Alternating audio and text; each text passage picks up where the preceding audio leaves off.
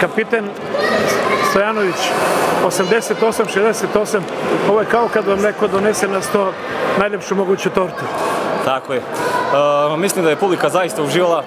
Zahvalio bi se što su napunili halu i mislim da smo im se odužili na najbolji mogući način.